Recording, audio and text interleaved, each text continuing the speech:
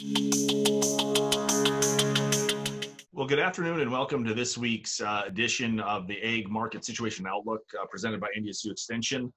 Uh, once again, we'll have a series of presentations about the current uh, uh, situation, egg markets and otherwise, and in some respects is impacted by COVID. Um, with that, we'll hand it over to Bryon Parman. All right, thanks, Dave. um, today I'm going to be a little bit uh, all over the place, it may seem, but I, I, if you'll bear with me, I'll kind of try to tie her all together. But uh, talking about some of the macro stuff again, and then I'm going to dig into some North Dakota um, farm management data. So one of the things that's going on right now uh, that folks are worried about is a second flare-up of, of uh, COVID or another, another spike in, in taxing uh, hospital beds as states begin to reopen and uh, more and more businesses getting are, are opening and, and, and folks going back to work. So my first slide shows the number of tests per thousand people. And you can see back in March, we had basically zero and now uh, we're conducting you know thousands and thousands of tests and as you can imagine the more testing you do on this the more uh, infected folks that you're going to turn up i mean that just makes sense and they're doing a lot more testing of people who maybe never had symptoms or didn't show any symptoms who who test positive so really the number of positive tests in and of itself isn't the issue or isn't what folks are so worried about. But what my next slide shows is the uh, number of positive tests per test conducted. And you can see that that's starting to uh, increase. Okay, so that's that trend had been going down, down, down, and and and and when you think about it logically, it's pretty simple, right? Most folks back when we went back when this all started, uh, most folks who went to the hospital were very sick. Uh, you had to meet a certain criteria of symptoms to get tested because tests were expensive. They took several days. Uh, it was pretty cumbersome, so you really had to meet a lot of these benchmarks in order for somebody to conduct a test on you. Well, as we did more and more testing on folks who maybe didn't have all the symptoms or any symptoms at all, you see the positive rate went way down. So we're still doing more tests, we're still testing more, but then you see this the positive rate actually increasing there toward the right, and that is causing, if you've looked at the market today, why the stock market is so far down, and other states where these big hotspots and flare-ups are occurring uh, are are slowing their reopen and maybe even discussing some further restrictions. And this is what we were talking about uh, months ago when we when we discussed reopening is how were we going to react if and when the infection rate started increasing not the number infected but the infection rate and that's what we're seeing and and we'll be watching very closely on how this transpires going forward and the you know epidemiologist type experts and stuff are really worried about you know what happens during uh, flu season october when if covid is occupying a bunch of hospital beds what's going to happen when people start getting sick with our seasonal viruses that, that tend to happen? So that's what's that's what's on everyone's mind that's what we're watching for and uh, it'll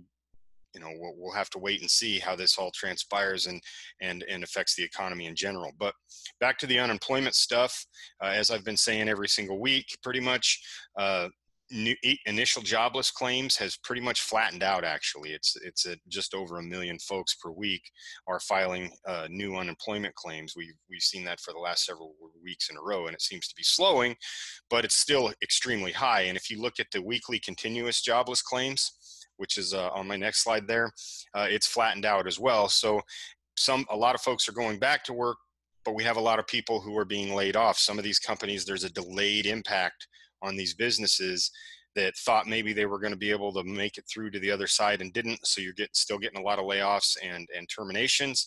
Uh, but some folks are continuing to go back to work. But this is still an extremely high number know 18 19 million people out of work as opposed to just a couple of million before this all started. So it's still an extremely high number but so far it's it's been trending down a little bit as states reopen. But again going back to that reinfection or not reinfection but a, a number of uh, infected per test going up that may impact this quite a bit. And how it how it all happens it's going to depend on the actions that the states take. So i'm going to shift gears here next and talk some about uh, some of our farm business management data.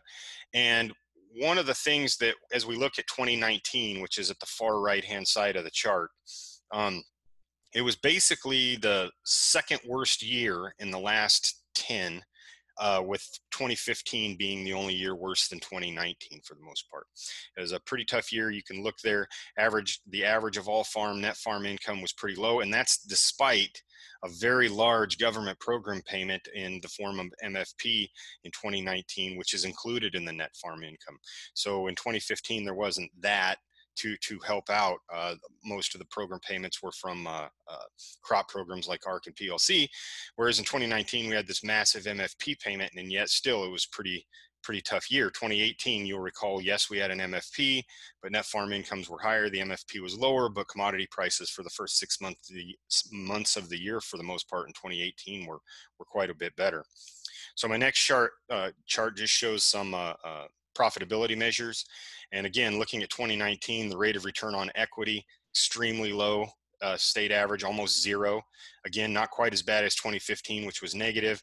And then the rate of return on assets, very low in, in 2019, as opposed to you look at the first part of the decade, rate of return on assets and equity up in the double digits, even 25% in 2012, which was a really banner year for North Dakota. Uh, but 2019, pretty tough year and, and certainly worse than 2018. So just how important have government payments been? And, and the tables I show next are, are a big part of that. And if you look, the left column uh, shows uh, gross go, gross cash income. Crop government payments would be like your ARC and PLC, uh, uh CRP, and then other other government payments MFP and disaster type payments. So in 2018, the state average was $60,200 per farm with a net farm income of 116,000. So government payments were about 50% of north of 50% of uh, net farm incomes in North Dakota in 2018. If we look at 2019, though, the next slide, it shows how big MFP went up to sixty-eight thousand dollars. Uh, other other payments in MFP, uh, sixty-eight thousand dollars, which is uh, a huge chunk, uh, and total government payments of eighty-six thousand five hundred sixty-nine dollars as a state. So, in other words, government assistance, CRP type stuff, uh, was over hundred percent of net farm income for the state. So, in other words, without that, state average would be underwater by almost twelve thousand dollars per farm. So that's just how impactful and how big and, and important these, these uh, disaster, MFP, and other payments have been for our state for the last couple of years. And even the high 20% in terms of net farm income, their total government payments was over 50% of their net, net income.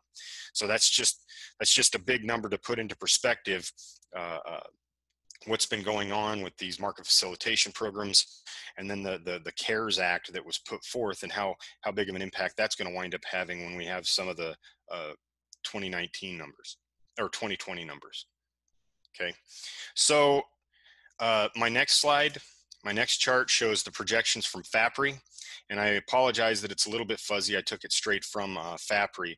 And the projected 2020 net farm income or for, for the US is 90 billion and they're projecting 2021 to be around that 79 billion almost 80 billion dollar mark. So a big drop in 2021 from 2020 and the difference is direct government payments. That's that that's that underlined uh, row there on the chart.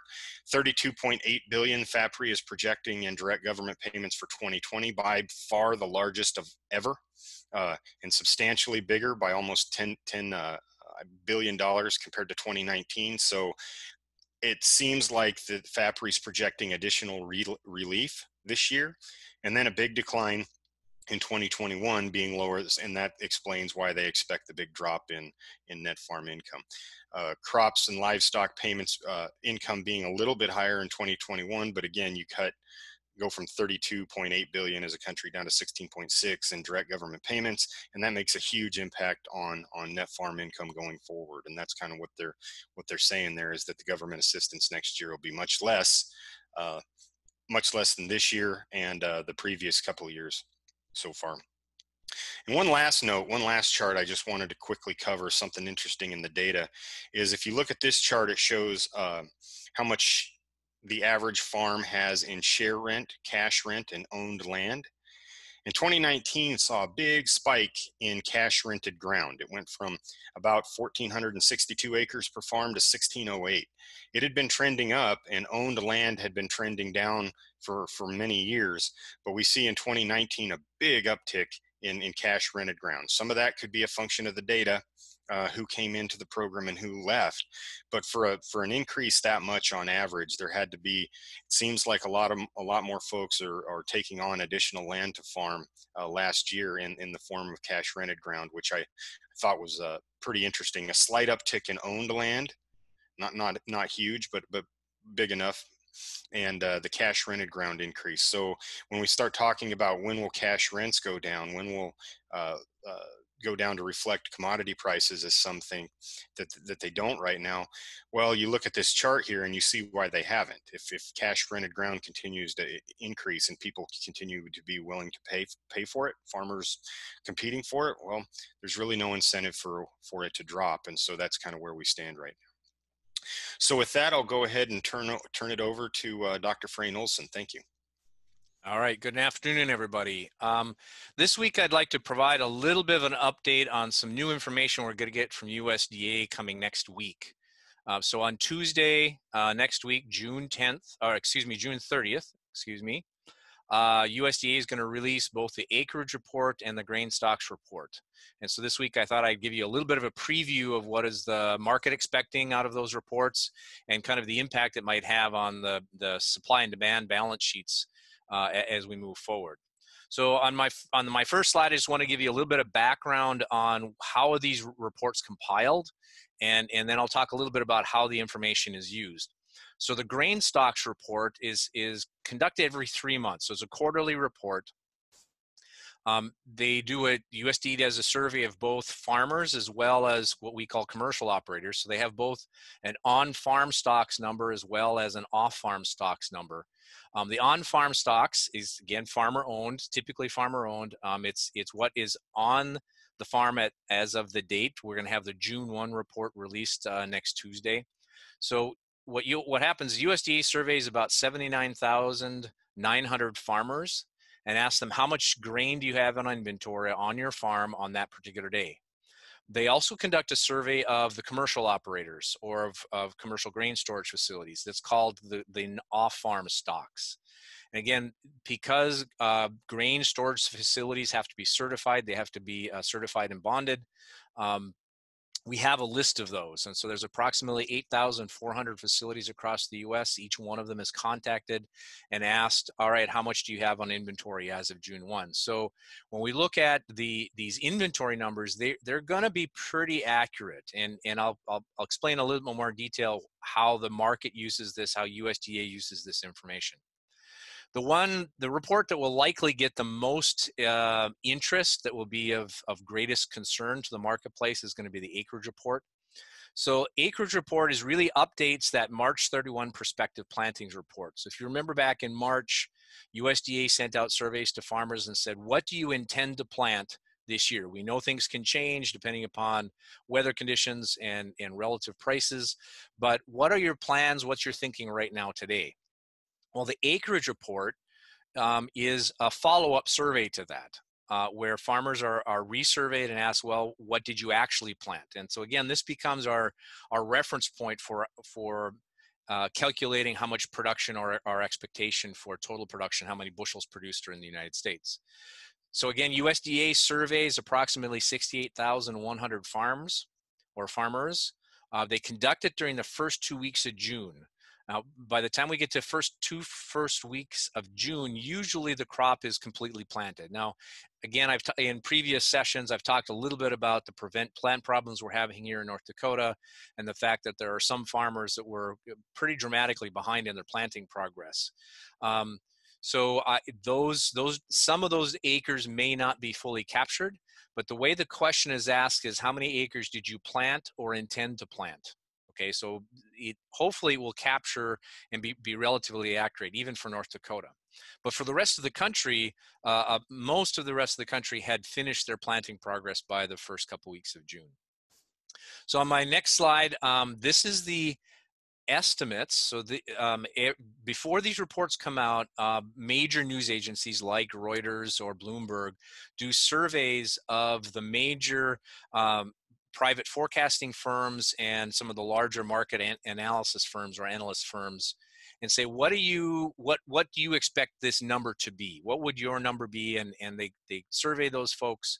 They pro- compile the results of that survey because this really gives us kind of an insight on what is the market thinking the numbers will will look like.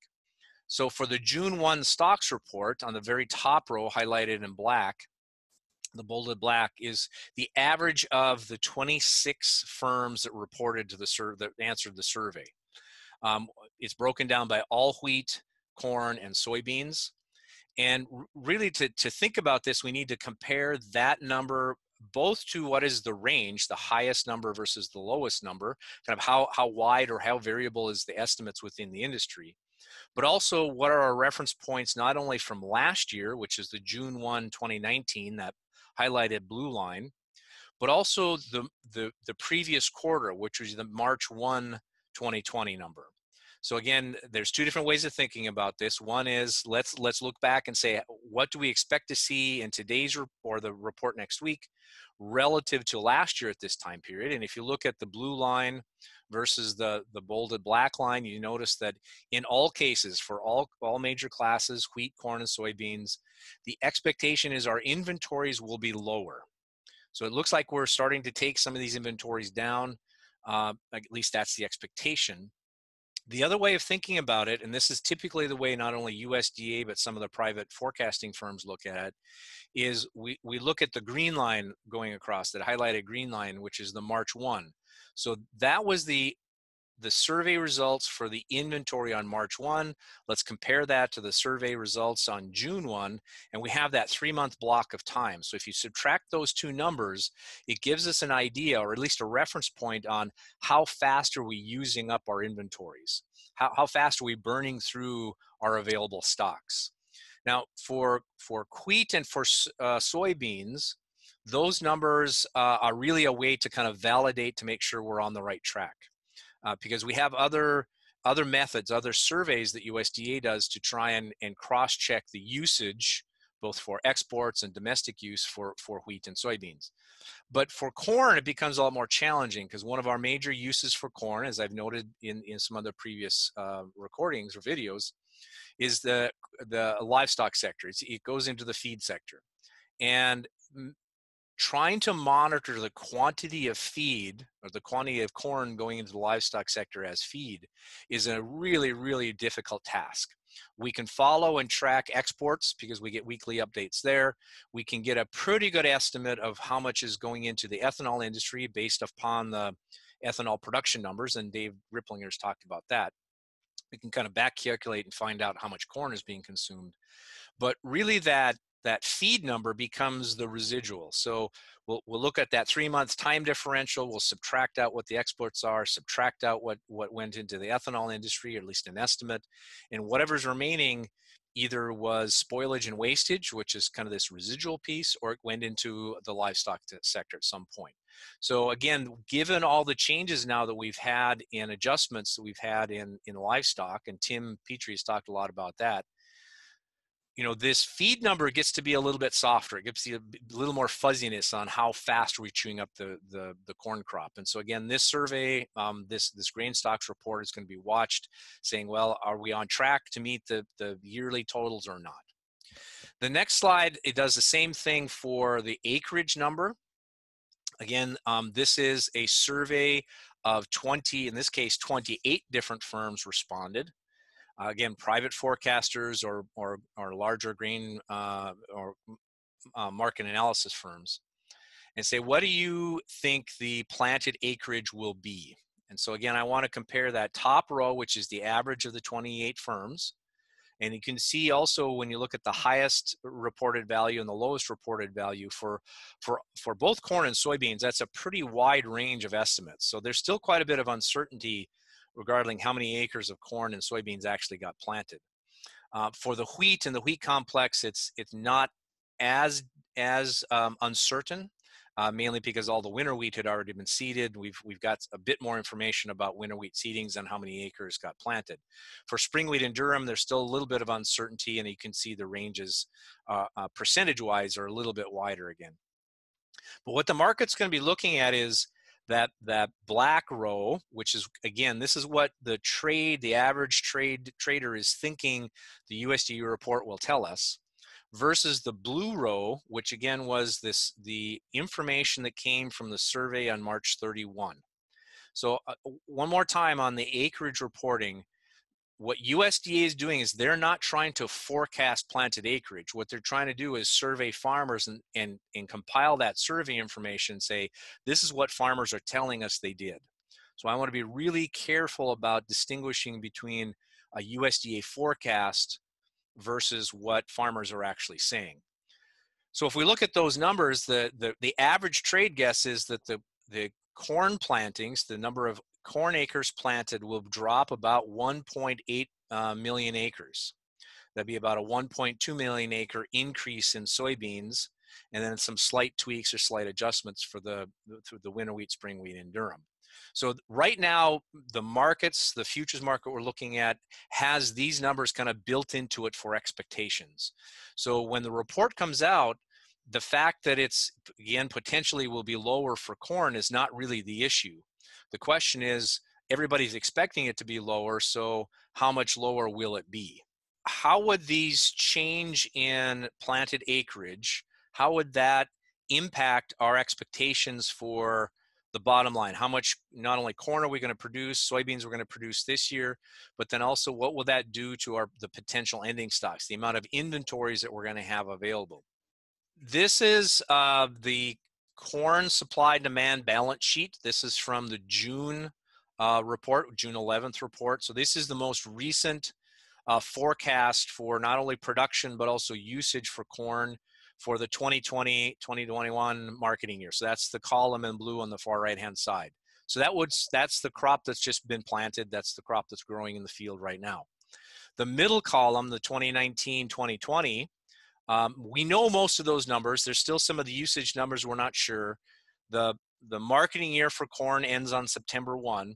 So our quarterly stocks report is going to help us refine the usage numbers that you see in the bottom half of these tables. The acreage report really has a big impact on the on the top right hand corner when we look at what is our estimate or forecast for production.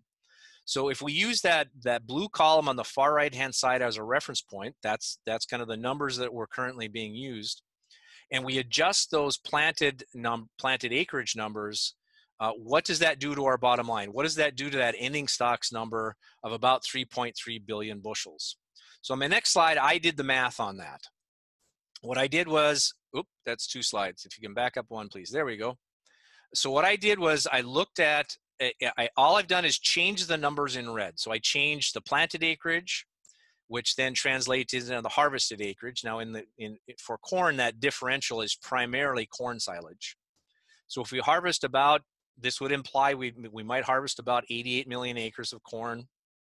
If we use the trend line yield of 70, uh, 178 and a half bushels, it takes our total production down just a little bit. Um, so our total supplies if you add up all of the beginning stocks and production and imports, will also drop a little bit.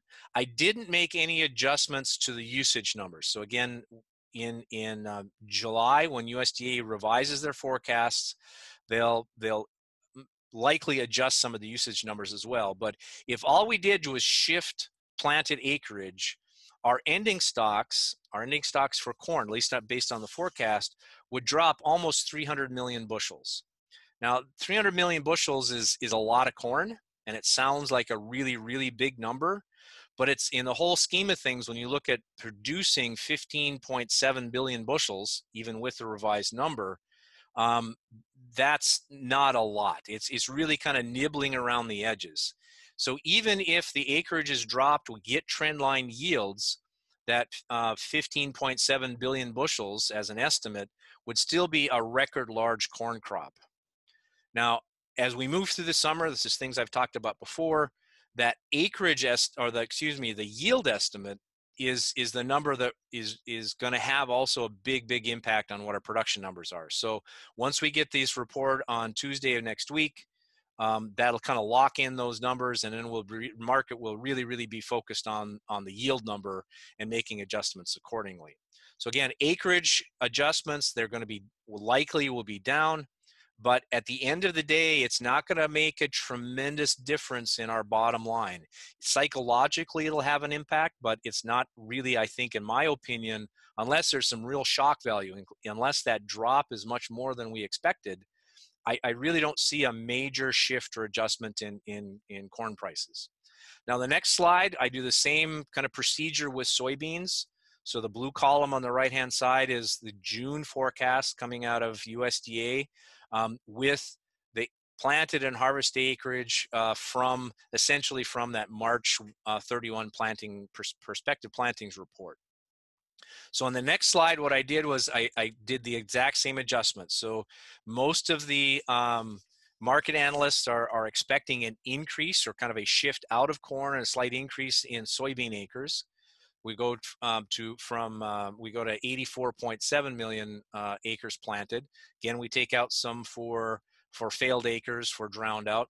We plug in the 49.8 bushel trend line yield, and we get about 4.1, almost 4.2 billion bushels of of soybeans produced. Now that would be the second largest crop in the U.S. The, the largest one historically in the U.S. was actually 2018-19, which is on the far left-hand side.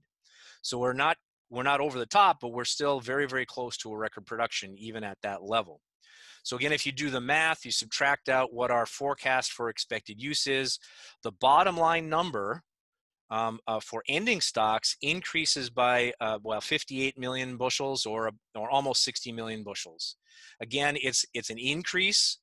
Um, it does have a psychological effect, but it's not a dramatic increase. And again, when you compare our ending stocks from 2018 to 2019, now into the forecast for 2020, it's still trending downwards. But again, recognizing 2018 was some very, very, very large uh, soybean carryover stocks. On my final slide, um, I do the same uh, you know, I, I want to show you what would happen to wheat, but the challenge is with wheat, the planted acreage numbers that was used in the June report are nearly identical to the forecast that was coming out of, of the pre-report industry estimates. So really there was no change. So the expectation right now is on Tuesday of next week that it will likely not be very turbulent times or, or provide a lot of new or dramatic information for the, the wheat market.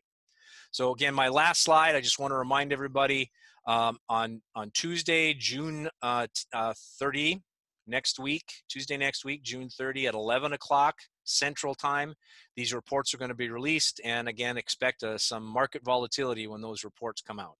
So with that, I'll hand things over to Tim.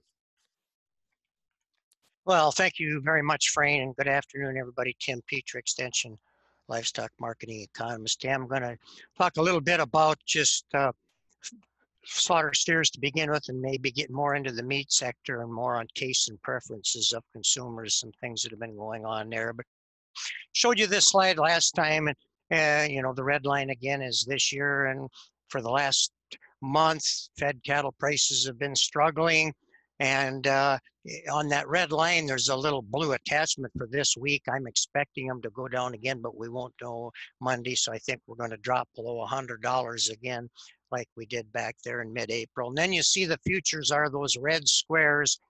And, uh, you know, futures aren't optimistic at all, uh, you know, and that's for the things that Bryon uh, got talked about at the beginning, the you know the problems with the economy and so on no we could do better than this on fed cattle but we got to see how the pandemic goes and so that's the you know the demand part of it if we go to the next slide we'll talk about then the problems we're having on the supply side.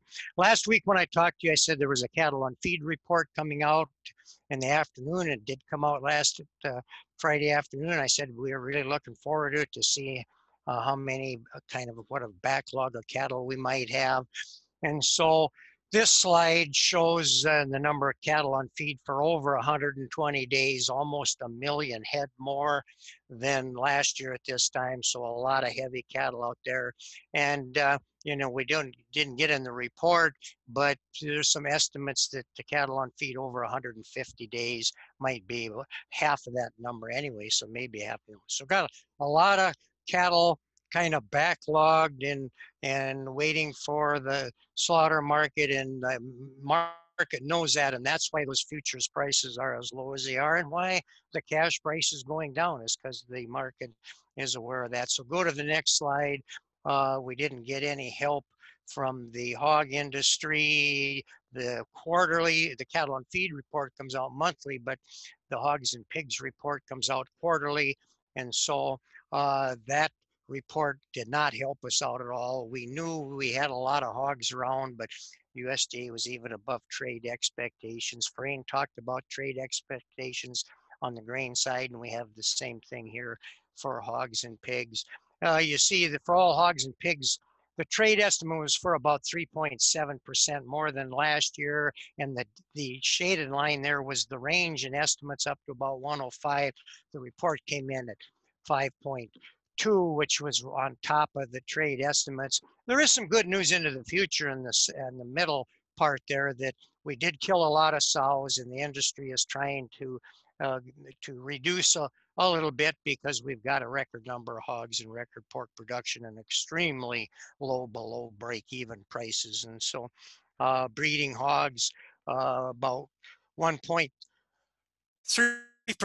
uh, less than last year, which again is good news, but it was on the high end of the estimates. And then we go down to the all the market hogs, 5.8% more in the total US above trade expectation. If we go to the next slide, then uh, kind of shows you where the hogs are.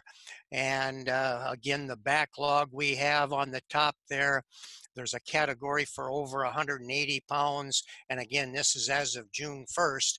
And so we're into, you know, uh, well into June now. And so these would have been been heavier than that and been ready for slaughter, and almost 13% uh, or uh, 1.67 million head of, of big heavyweight hogs, all-time record high for that amount. And then the red circles there, uh, down in the bottom left, you see the that uh, anything with a the pound symbol is record high and so a number of states with this would be total hogs, not just the heavier weight that a, a lot of hogs, uh, you know, Minnesota, Iowa is the big hog state, throw in Kansas and some other states and so on. And on the way on the right hand side towards the bottom, a record number in, in the United States. So anyway, uh, really a lot of problems up here in our part of the country because, uh, you know, both Sioux Falls and uh, uh, and Worthington, Minnesota were closed up here. And although South Dakota wasn't at a record level, they still had 11, almost 11% more hogs than they had a year ago. And, you know, Minnesota up there, nine and so on. So, you know, the story is uh, actually a lot of hogs, a record amount of hogs, and more than the trade was even expecting. So the futures market for hogs did show that today. And down uh, two to three dollars. Didn't quite spill over into the fed cattle as much, and fed cattle and feeder cattle maybe down like 50 cents to a dollar or so. But anyway, still has an impact on cattle prices, obviously, because of the competing meat there. So go to my next slide. I'm going to kind of switch gears here. Maybe this would be kind of a Byron, uh, a Bryon, excuse me, talk a little bit more. Uh, you know, we've been discussing restaurants and, and restaurants opening, and again, about half the meat that isn't exported goes into the restaurant trade. So the you know, livestock industry is watching that close. So again, we go back to May when some of the restaurants first started to open up, and this is just the, uh, the week compared to last year of the number of seated diners at restaurants that are open for business. And so we started off there at 40%, been gradually coming up. And then by uh, a couple, three weeks ago, we were up to about 60% capacity, which was good news, means we're moving product to restaurants. And then we spiked way up a week before last to about uh, 90% people are really anxious to get to restaurants and, and the seating capacity and so on was reduced in places from the, you know, 40% to 50 to whatever to in some restaurants allowing them back to uh, many. So, but then as Bryon mentioned at the beginning, we had this uh, spike in the number in the rate that he talked about, and so then uh, last week quite a few uh, more open seats and so we got to watch this really closely for what Bryon said is that going to go up and and then are people going to you know not be as willing to go to restaurants and so on. So go on to the next slide. Uh, here I'm just going to maybe kind of give a little history lesson. Again, talk more about tastes and preferences of consumers that really have changed since the pandemic and maybe look, take a look more back at the history lesson. Starting off here with pork belly prices, a real interesting one for me to talk about. Uh, pork bellies are the wholesale cut where we get bacon. And so uh, talk about that. When you look at that red line up there on top, that's just the normal seasonal price pattern for pork bellies that goes along with bacon. And if I was talking to you live, I wouldn't have put that picture up there and I would asked the audience, why are bacon prices so high?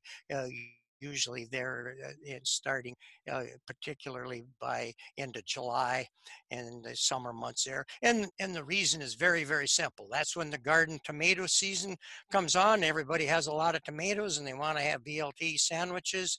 And uh, you know in some cases tomatoes are free uh, i've got some grandkids that are wanting to garden and learn how and i think we put in 50 or 60 tomato plants this year so if the weather comes through we're going to have a lot of tomatoes to give away too. But anyway that's the reason why.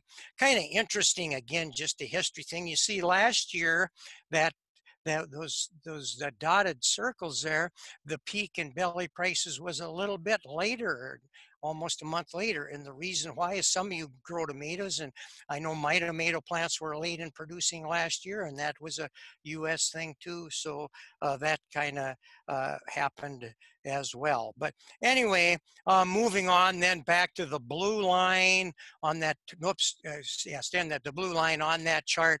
We talked about this earlier that that uh, bacon prices, uh, you, you, know, that the, the when when the restaurants closed down, uh, bacon fell in price because consumers want to buy one pound packages and you know restaurants buying 25 pound packages so we had some adjustments there but then as the shelves got bare and packing plants closed down and so there's a lot less being uh, produced then we did spike for a while but came back down to about uh, average prices now, you might say, and and um, you know, with restaurants are open back up, and we've channeled some to the retail store and so on.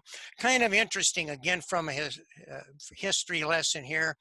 Um, 20 years ago, the industry said that bellies are going to be worth nothing. There's a so-called, uh, you know, fat uh, nobody wanted to eat fat and a prediction bellies would be worthless and and uh, because of the health craze.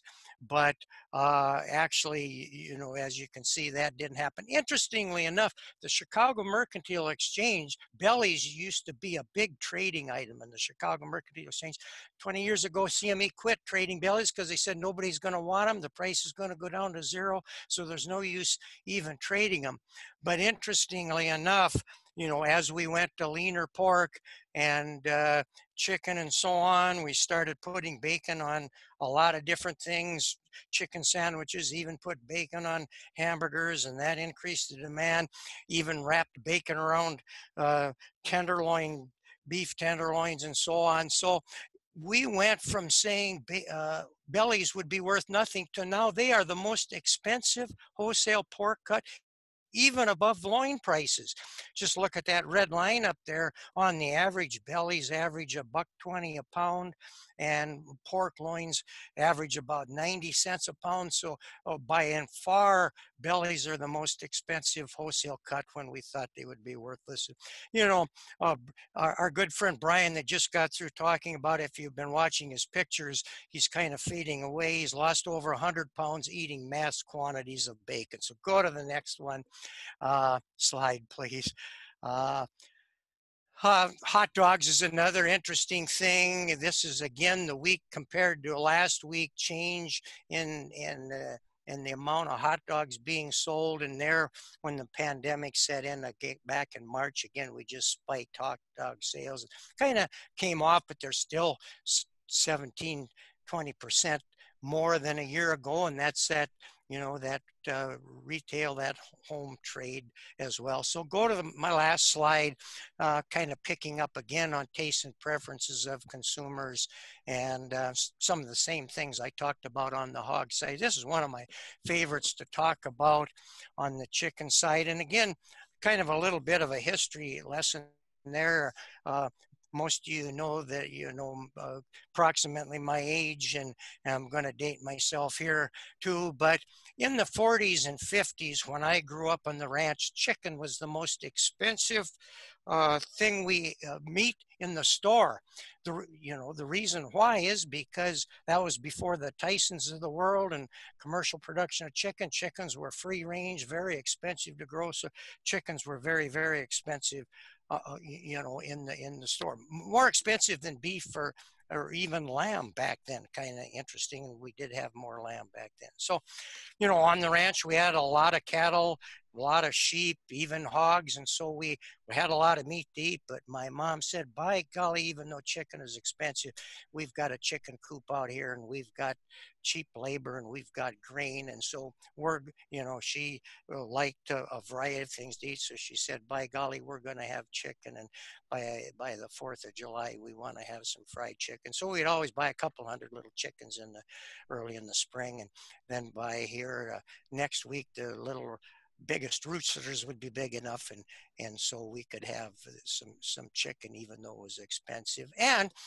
that meant that you know somebody had to butcher them and so i had to butcher and pluck a lot of hundreds of chickens when i was young. And you know this this is uh, the top slide is about chicken wings, but uh, you know I didn't mind plucking those chickens, but that wing that that you got to pluck takes twice as long to pluck the pin feathers and stuff out of the wing to hold chickens. And I must have been an economist back then because I told my dad, you know, let's just cut that end wing thing off and throw it away. It's all full of feathers. They don't eat it anyway. He said, oh, no, no, mom's got to have that wing. And on the industry side as well, very difficult for the industry now, even now with the machines they have to get those last feathers off the wing. But anyway, that's a, that's a whole different uh, story there. So uh, talk a little bit about chicken wing prices here tend to, you know, be fairly stable, the red line throughout the year, but they spike two times in the year. They spike when the football season starts there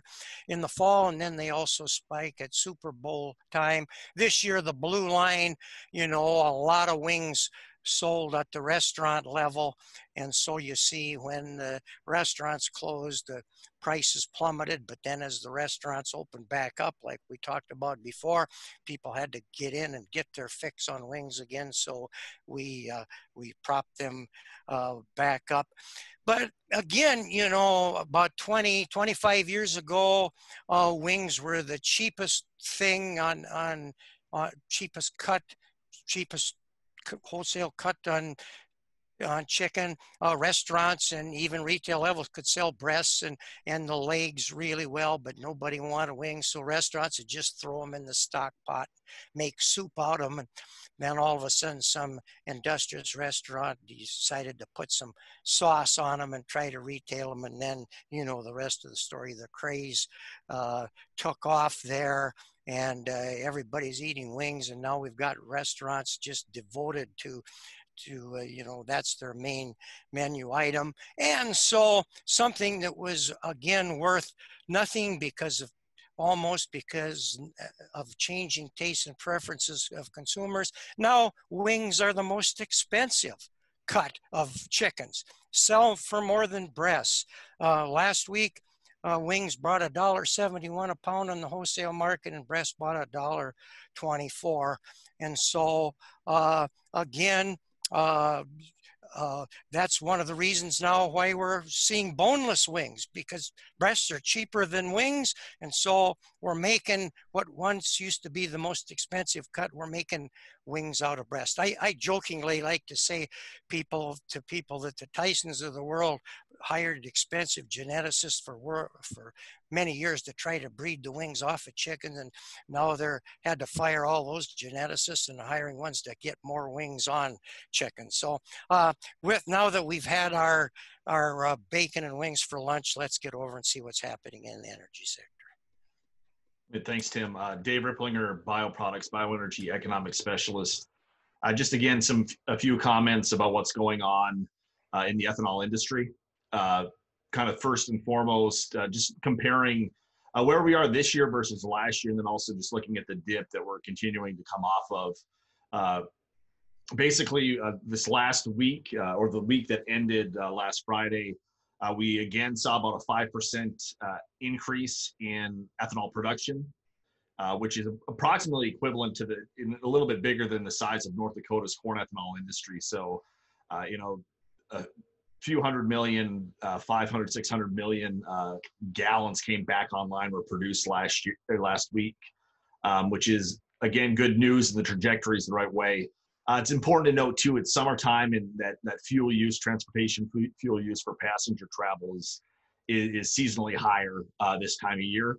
Uh, but again, that's one reason why you might want to look uh, at this time of year versus last year. And right now we're running at about 83, 84% of where we were a year ago. Um, and, and again, about this time a year ago, we were at 100% capacity utilization or close to it. Um, and again, we, we kind of see that continued growth. Uh, Frayne had asked me a question earlier today, you know, where are we with that number today? And it's actually somewhat tough to tell because we do know that a number of corn ethanol refineries have uh, uh, permanently shuttered, that they won't be back. And that's probably at least a billion gallons worth of capacity uh, but we don't know exactly where that number is. And, and some of the folks who are still closed will likely uh, remain closed uh, permanently whenever they decide to make that call. And of course, uh, you know, staying closed for, for some amount of time doesn't necessarily help the financials and, and push things a little bit. But again, uh, you know, the, the trend is certainly in the right direction uh, off, off those lows in mid-April. looking at margins, things are not as good as they were a week ago. Uh, looking at some of the numbers from USDA uh, for today, um, but in general, they're they're they're better than needed to to keep folks rolling. Again, my my my number is about a buck twenty five, and we're at a dollar thirty six. Uh, crush for for a for a, for a bushel, a dollar fifty is really nice where it was a week ago. Uh, in South Dakota, the, the refineries are paying a bit less for corn, um, getting a li- little bit less for ethanol and also a little bit less for distillers. So things aren't moving in the right direction. But again, it's, it's as that capacity comes back online, as production increases, you'd expect those margins uh, to decline a little bit. But again, you know, we're still seeing that that that movement. Another way to look at this too is just look at days of storage. So again, uh, the amount that's available in stocks versus that that that that use, that daily use. And actually, this last week, uh, ending ending last Friday, we had the lowest days in storage that we've had all year, um, and definitely in that range in the mid 20s, uh, where we'd like to be. Again, the trajectory is is still moving uh, down, uh, and again, we've we've we've passed that threshold. We're just above 25 days in storage, uh, which again is is a pretty uh, supportive number. last thing I have is just to look at the blend rate. So this is ethanol input into a, a refinery or blender versus all the gasoline that comes out. You know, if it was all E10, you know, we'd see that 10% rate. Obviously, we have some uh, E0 still available in the marketplace and the little in some sales of E15 and E85. Uh, the numbers aren't perfect because it's not actually gasoline going into the refinery. Uh, you know, that's going to be, uh, you know, produced in, in, in, some respects, you know, you know, at the at the refinery from crude. So we don't have that number but it's really kind of interesting just to see the changes. And so we saw that that relatively large dip uh, as COVID hit, and I think a lot of that was just using up some of the ethanol that was already there, that was already at the at, at the blender at the refiner, and now we're back to that same rate. And so that that's good. And in, in general, what that means is we want to see uh, increased gasoline consumption or continually increasing gasoline use uh, with ethanol moving right along with it. And again, in general, I think that that's for the most part where we're going with, with summertime. And, and for me, it's, you know, we continue seeing that increasing clip for the next month or two. And then, of course, once driving season ends, you know, what's going to happen. And of course, you know, Bryon had alluded to, you know, if we see uh, this second wave or this continued growth of the of the virus or, you know, uh, increased rates in certain parts of the country, for example, Texas, you know, what is that going to mean for travel? And of course, we don't know that for sure, but in general, the you know the trends are definitely going the right way. Uh, final update. That's all I had in terms of the, the biofuels market. I just to let you know we are going to continue uh, with this webinar series throughout the summer, uh, but we're going to actually move the date and how often we have it. So beginning on July 9th, uh, which is a Thursday, uh, we'll begin. We'll continue having the webinar series, but it'll be every other Thursday uh, through Labor Day uh, as scheduled. We'll be sending out some additional information, so everyone who's on our list serve for this will be getting that information. We'll and we'll promote it a, a few different ways to make sure that everyone catches it. And with that, we'll move over and be happy to answer any questions that you might have. Again, you can we prefer you, our preference is to use the Q&A tool, but you're also welcome to use the chat tool uh, if you're more comfortable with that. And I'll give you guys just a, a few minutes if you want to get to that. Again, you can check out any recording uh, of this uh, at, the, at those sites below or uh, check out some of these presentations if you want to see further. Uh, we do have quite a few folks who do catch this later on. Uh, and again, you know, you're obviously on now, but folks who might catch it next week, you know, are also on on the docket too. So with that, I guess we'll we'll wait a few more seconds and see if any questions come in.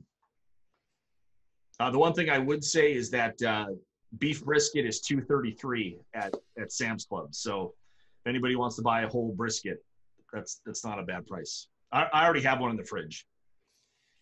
One thing I wanted to add was, you know, with this trending increased rate, you know, there's a lot of talk right now in Washington from just about everyone, whether it's the House, Senate, and uh, the president, the executive, on if there's going to be another round of stimulus or a CARES Act like uh, program coming down the pike in the next uh, uh, couple of months. Um, and one of the things everyone's watching then in ag is is there going to be additional funding on top of what was already allocated under the CARES Act? And I I tend to believe there's a there's a big appetite, obviously, with everybody basically saying there needs to be another stimulus, in, including the uh, uh, Jerome Powell, the Fed chairman, is saying that, uh, and all branches of our government are saying it. So I would actually be surprised at this point if there isn't another round, especially given the trend in the increased infection rate and how, what that's going to mean going forward. So,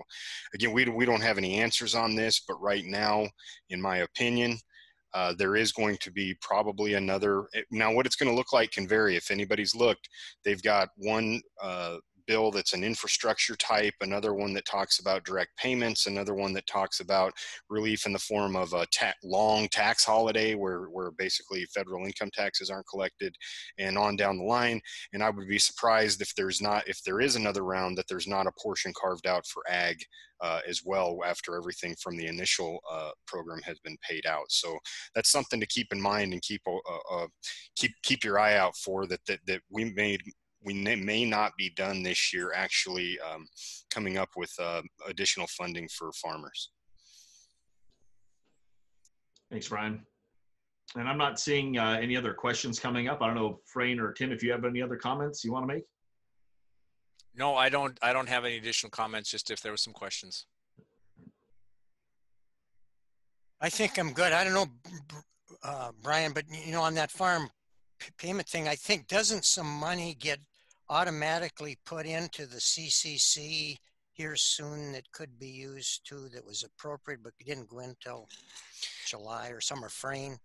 Well, it was the end of June. It was after the end of June. Um, so I guess in the next few days uh, that that turns over and then there's some more funding available. Like as they said with the with the uh, original program, they were going to pay out 80% of what you calculated to be entitled to to ensure that there was enough money up front to give everybody some money. And then whatever's remaining, uh, if there's enough, you'll get the remaining 20% that you were in, uh, cal- that the calculator figured you were entitled to. So that's kind of one of the things that they were waiting on. But again, the sign up period for this goes went all the way into August. So I, I don't know that they would have a program another program on top of this one at the same time that the sign up period was still available. Yeah, right. Um, so the timing of that may be a little bit screwy because they have to wait until they see how much is because they're not going to know how much they have to pay that, that needs to be paid out until the sign up period expire, mm-hmm. expires, right? But there would be some money there even without further appropriations if if it doesn't get expend, if it doesn't get called for in that new money that goes into CCC. Yeah, but I don't think it would be part of the program. That would be part of the traditional role of CCC, Yeah. um, of being able to provide commodity loans and those other things. There still needs to be funding available for that. They can't just liquidate the triple C for for the CARES Act program. There has to be enough money sitting in the kitty to do commodity loans and what they typically do with the CCC. So that's what part of that money is also for.